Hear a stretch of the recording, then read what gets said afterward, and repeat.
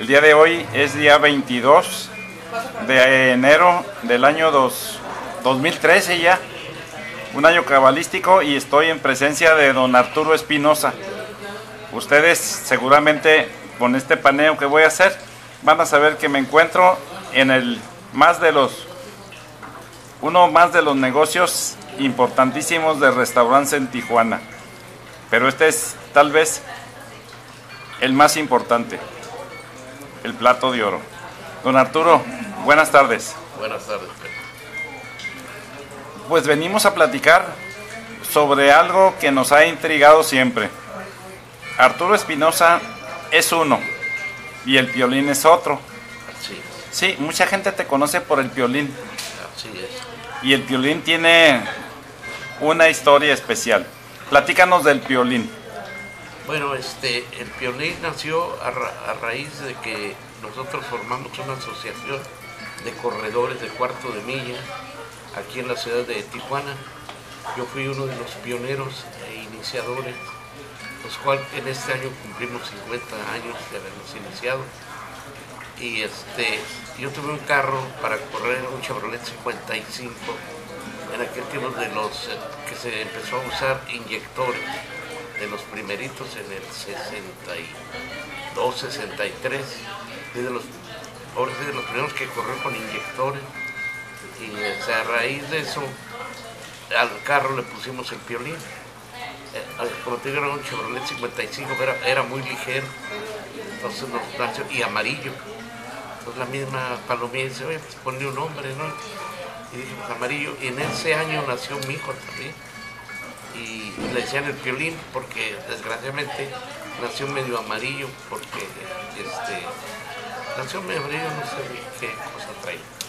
Y este total que de ahí nació el piolín gracias a mi chamaco y al carro eso es por lado de las carreras. Y te digo yo me retiré de las carreras en el 1995 96 por ahí nos retiramos, estuvimos así, creo más de 35, 40 años corriendo. Y el piolín participaba en los cuartos de milla, pero ¿en qué lugar? A- eh, Aquí en Tijuana empezamos, corrimos este Tecate, fue la, la- la base ahí Tecate, fue donde nos congregamos, corrimos Mexicali, Ensenada, San Felipe, Hermosillo, y acá al otro lado, en, pues, en Estados Unidos, fuimos a Ramona y a otra pista que estaba eh, a un lado de, de Calexico, se llamaba este, no me recuerdo ahorita, una pista de un cuarto mil, era un aeropuerto ya eh, que no, no funcionaba como aeropuerto y lo dejaron. Ahorita no me viene a la memoria el nombre, ahí en Calexico. ¿En Tecate se iniciaron los- las carreras de cuarto de milla entonces? Bueno, ¿O fue en, en Playa de Tijuana? Nosotros empezamos aquí en el Soler, cuando se estaba haciendo apenas el fraccionamiento Soler y empezaban a hacer la carretera a playas de Tijuana. Entonces en el Soler hubo un par de accidentes porque era muy corto, para, no había mucho margen para frenar y de ahí optamos por empezar a correr. Ya habían terminado parte del fraccionamiento de playas, o sea, la primera este, bulevar que tenía era el pegadito al mar. Fue el primero que desapareció.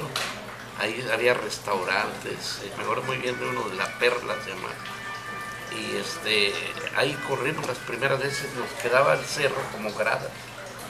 Y, este, era bastante bueno. Y de aquel lado estaba la, el mar y la playa, ¿no? Entonces todavía no iba la gente a, a bañarse, porque te digo, pensaban hacer la carretera a playa. Incluso el toreo ya estaba, fue de los primeros.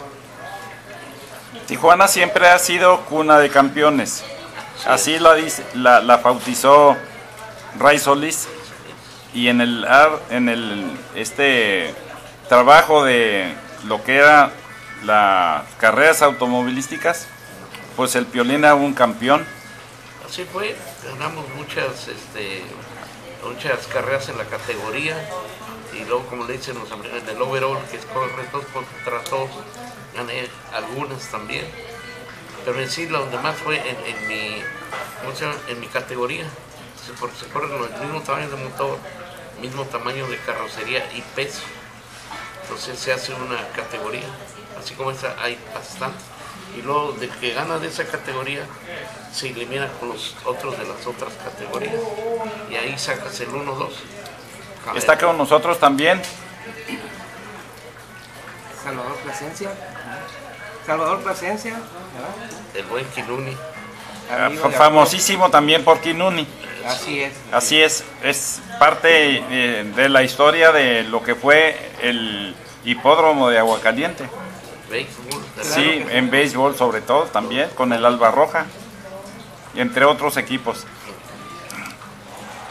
¿Recuerdas tú, y te involucro, Kinuni, porque en las competencias uno es el ganador, en este caso es el piolín. El piolín es el vehículo. El chofer es Arturo Espinosa. Pero detrás de el carro, detrás del piloto, hay un equipo.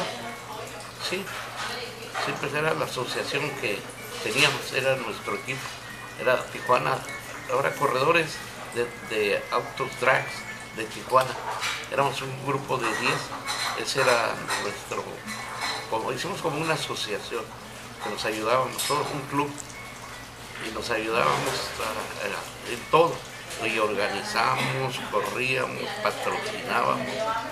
Y así estuvimos, inclusive fuimos de los primeros corredores de cuarto milla en el país, porque no se hacía ni, ni en Hermosillo, ni en Guadalajara, ni en el Distrito Federal. Entonces empezamos así a correr como en el 58.